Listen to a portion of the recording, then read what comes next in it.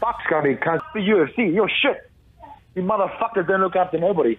Throw this motherfucker, this freaking stupid fucking Samoan under the bus and we'll let this fucking white piece of shit fucking sticking needles in his ass and say, oh, let him cheat all the way to the fucking bank. Let's give him fucking millions of dollars and don't worry about this motherfucker. You know, fuck that and fuck your shit company. Jesus